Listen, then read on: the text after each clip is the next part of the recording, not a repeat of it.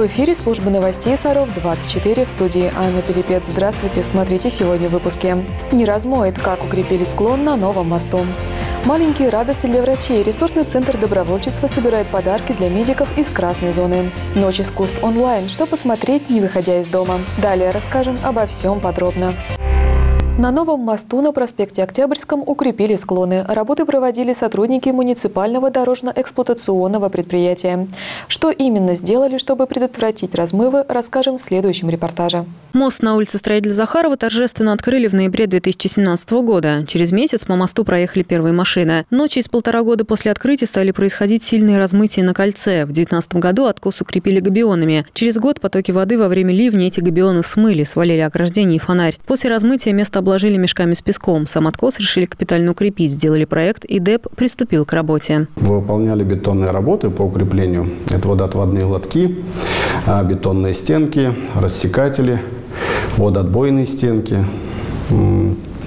Потом восстанавливали тротуар, и будут водоприемные решетки. Работы продолжались месяц. На это потратили более 4 миллионов. Гарантии на ремонт откоса от строительной организации, которая возводила мост, не было. Изначально в проекте не учли, что в этом участке будет собираться вода со всех окрестных улиц, в том числе с проспекта Ленина. Зато сейчас мост выдержит и Великий потоп. Да, гарантии есть, потому что там такие мощные конструкции. Это монолитные водоотводные лотки с, с повышенно заложенной арматура.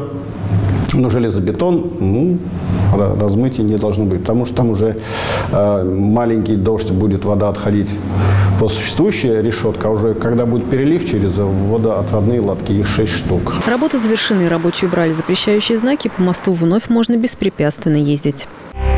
От 70 до 150 случаев коронавируса в день в среднем выявляют в Сарове на протяжении полутора недель. Общее число госпитализированных колеблется на отметке 160-170 человек. Если так пойдет и дальше, можно говорить о том, что заболеваемость в городе вышла на плато и обстановка стабилизируется. Однако ситуация может ухудшиться. Подобная ситуация а, отмечается и во всей Нижегородской области в целом. В настоящий момент э, в области развернуто более 9 тысяч коек для лечения больных с новой коронавирусной инфекцией. А, на неделе а, открылся Приволжский окружной медицинский центр, открыл госпиталь на 60 коек для лечения больных с коронавирусной инфекцией. Часть пациентов были направлены из нашей больницы. В настоящий момент госпиталь Помца занят полностью. Возможности к приему пациентов у них сейчас нет. Э, решаем вопрос по каждому пациенту индивидуально. В клинической больнице 50 э, имеются необходимый, э, пусть небольшой, но запас лекарственных препаратов. Пока достигнута договоренность с поставками медицинского кислорода, но все это из расчета наших 290-300 коек. Если будет продолжаться рост заболеваемости и количество пациентов будет увеличиваться, будут проблемы с медицинским персоналом, с наличием свободных мест. Основными средствами профилактики остаются вакцинация, маски и социальная дистанция. В праздничные дни медики просят россиян остаться дома. Однако у локдауна есть и другая сторона. Нижегородские торговые центры столкнулись с негативом со стороны посетителей в этот период. Об этом представители ТРЦ заявили в открытом письме губернатору. Нас обвиняют в нарушении прав и свобод граждан, говорится в документе. Посетители оставляют отрицательные отзывы про магазины, участили случаи конфликтов с охраной и продавцами. В настоящий момент приостановлена деятельность деятельность большинства арендаторов торгцентров. Посещаемость сократилась на 70-80%. Даже незначительное увеличение количества нерабочих дней ведет к катастрофические последствия для отрасли. Съезды арендаторов, пустующие площади в торговых центрах, а главное – сокращение числа рабочих мест, снижение заработной платы и налогооблагаемой базы, говорится в сообщении. Представители торговых центров уверяют, что соблюдаются все меры для минимизации рисков распространения коронавирусной инфекции.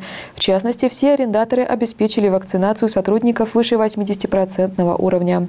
В связи с этим владельцы бизнеса просят не продлевать режим нерабочих дней после 7 ноября, а также рассмотреть вопрос скорейшей отмены требований о контроле QR-кодов для посетителей торговых центров. Правительство области прокомментировало просьбу. Власти не видят оснований для отмены QR-кодов для посещения торговых центров. Проверять водителей на регулярное употребление алкоголя планируется начать с 1 марта следующего года. Впрочем, не всех водителей, а только тех, у которых выявлены признаки заболевания или которым потребовалась водительская медсправка в связи с лишением прав из-за управления в нетрезвом виде или отказа от медосвидетельствования. Проект приказа Минздрава размещен для общественного обсуждения на портале regulation.gov.ru. Другая важная информация в подборке коротких новостей. Клиническая больница номер 50 напоминает график работы на выходные. Поликлиника номер один будет работать 5 и 6 ноября с 8 до 16 часов. 5 ноября принимают врачи-терапевты, хирург, работает прививочный кабинет. 6 ноября помимо названных специалистов можно попасть также к травматологу и гинекологу. В поликлинике номер два в эти дни будут работать врачи-терапевты и прививочный кабинет. В детской поликлинике педиатр. Можно вызвать врача на дом. 4 и 7 ноября поликлиники не работают. Стоматологическая поликлиника принимает пациентов 6 ноября с 8 до 13 15 часов. 4, 5 и 7 работает врач-стоматолог в кабинете больничного городка. Всероссийская акция «Ночь искусства» в этом году вновь пройдет в онлайн-формате. Она начнется 4 ноября. Свою программу представят культурные учреждения региона. Наш город тоже присоединился к акции. Саровский драматический театр покажет зрителям трансляцию спектакля «Провинциальные анекдоты». Ссылки на видео будут размещены на сайте театра и в группе ВКонтакте в 16 часов. С 18 часов можно присоединиться к онлайн-активностям городского музея, художественной галереи и библиотеки имени Маяковского. 11 важных для развития туристического потенциала Нижегородской области участков дорог отремонтировали в этом году по нацпроекту безопасной и качественной дороги. В частности, сделали подъезды к двум центрам притяжения туристов – селу Большому Болдину и Дивеевскому монастырю. В нормативное состояние привели участок протяженностью более 15 километров на дороге Ордатов-Дивеево. Около 8 километров отремонтировали на подъезде к Ордатову от дороги Владимир-Муром-Арзамас. Для развития кластера Арзамас-Дивеево-Саров отремонтировали участки дорог Владимир-Муром-Арзамас, выездной Дивеево-Сатис, малый объездной Дивеево и северного обхода Арзамаса. Общая протяженность 11 участков около 58 километров.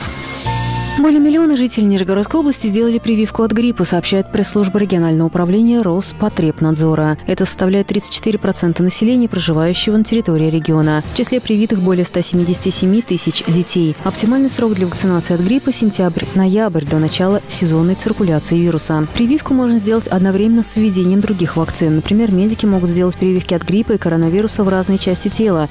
И иммуногенность препаратов не снизится. Всего в регионе заболело гриппом 8 человек. Стартовал прием материалов на городской конкурс «Ученик года-2021». Его проводит Дворец детского творчества. Участниками конкурса могут стать ученики 9-11 классов из всех муниципальных школ Сарова. Конкурс проводится в два этапа. Первый этап отборочный продлится до 23 ноября. Второй этап финал пройдет 9 декабря в 16 часов на платформе Zoom. Подробности можно узнать по телефону 952 32.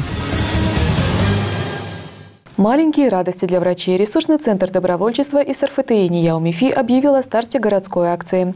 Это жест в поддержку медиков, которые в больницах и ковидных госпиталях жертвуют временем и силами, чтобы спасти жизни пациентов. Герои красной зоны, ангелы в белых халатах, врачи, медсестры, санитары каждый день спасают человеческие жизни, рискуя собственным здоровьем. Пандемия не собирается сдавать позиции, а потому нагрузка на медиков возрастает с каждым днем. Саровчане могут поддержать их в этот непростой период, приняв участие в акции «Маленькие радости для врачей». Цели данной акции э, является поддержка врачей, которые работают э, в красной зоне, которые непосредственно контактируют с людьми, больными коронавирусом.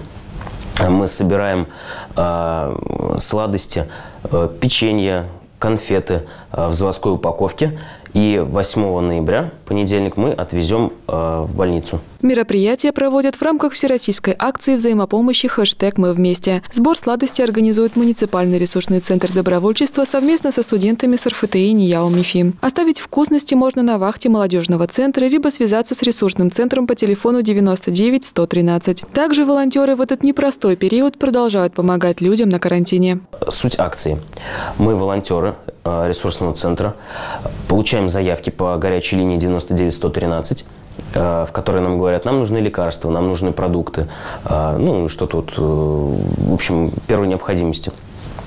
Принимаем заявку и направляемся непосредственно в магазин, либо в аптеку и уже доставляем продукты э, по адресу. Заявок от жителей города с каждым днем становится все больше. Волонтеры с трудом справляются с таким объемом работы и ищут свою команду неравнодушных саровчан, готовых помогать людям. Более подробная информация по телефону 99 113.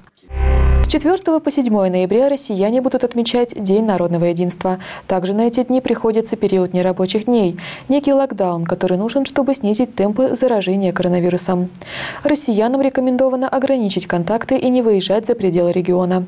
Чем займутся в эти дни саровчане? 4 ноября наша страна отмечает День народного единства. Россиян ждет 4 выходных подряд. В этом году они также совпадают с нерабочими днями, в которые россиянам рекомендуют ограничить социальные контакты.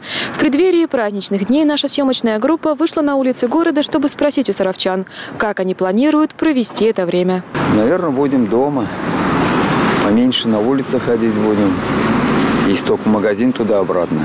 Работать. 4-5 вся страна. 4 точно.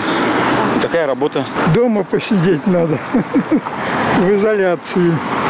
Иначе может кончиться плохо. Ну, что сказать, в такое время нельзя гулять вообще, выходить в общественные места. Сидеть дома, заниматься любимыми делами. Я, например, вижу очень много. Смотрю телевизор, новости. Того и всем желаю, чтобы пореже выходили на улицу. Я пиццу есть. Локдаун. Какой праздник. Сидим дома, пенсионеры. Погулять можно сходить вот по этой дорожке оздоровительной в эстете. Я думаю, так, но как мы пенсионеры, нам что только остается отдыхать, гулять. Дорогие горожане, отдыхайте дома, у телевизора. У нас сейчас будут двое внуков. Может быть, в лес выйдем прогуляться. Дома сидеть, прятаться от всех друзей, знакомых и сидеть дома. Вот и все. Что я могу еще предложить? Ну, сам я буду частично работать. Дома можно работать тоже. То есть берешь статью, пишешь доклад, еще что-нибудь в этом плане. То есть на самом деле можно и нужно. И в лес, пожалуйста. Сейчас без повязок, потому что там точно могу сказать, повязки в лесу не нужны. Да, наверное, надо квартиру привести в порядок. На огород уже поздно ехать, уже все замерзло. Так что будем как-то дома наводить какой-то порядок дома. Что-то дома организовать между своими близкими. Ну, естественно, никуда не ходить в гости, чтобы поддержать инициативу президента. Налоги на имущество физических лиц за 2020 год необходимо уплатить до 2 декабря. Какими способами уплаты могут воспользоваться саровчане и кому положены льготы, расскажем в следующем репортаже.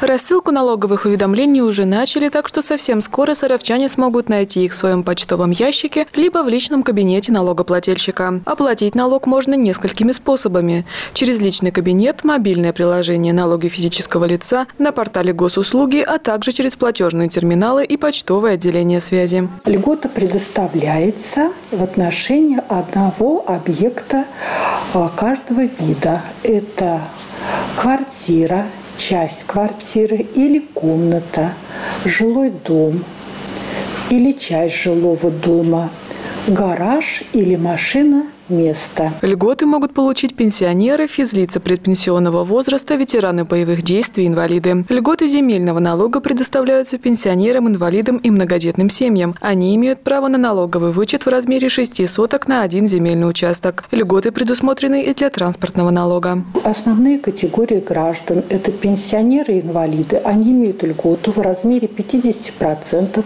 на одно легковое транспортное средство до 150 лошадей включительно исключительно. Многодетные семьи имеют э, льготу на легковые машины – на 150 лошадей включительно в размере 100%. Предоставление льгот носит беззаявительный характер. Их распределяют на основе сведений, которыми располагает налоговый орган. Налоговые уведомления не направляют тем лицам, которые полностью освобождены от уплаты имущественных налогов. Пенсионер в собственности имеет одну квартиру, и у него в собственности имеется э, э, земельный участок. Площадь земельного участка составляет 6 соток. Э, такие, такое физическое лицо уведомление такому физическому лицу уведомление не сформировано. Также от уплаты освобождают тех граждан, чья сумма налогов меньше 100 рублей. Если вы не получили уведомление, сотрудники рекомендуют обратиться в налоговый орган, где вам его вручат лично. Анна Пелепец, Евгения Шевцова, Сергей Рябов, служба новостей Саров 24. И это все, о чем мы успели рассказать сегодня. Следите за новостями города в группах канала 16, в социальных сетях ВКонтакте, Фейсбук и Одноклассники. Подписывайтесь на наш канал в YouTube и смотрите все информационные выпуски и авторские программы в удобное для вас время. В студии работала Анна Пелепец. Всего вам доброго и хороших вам новостей.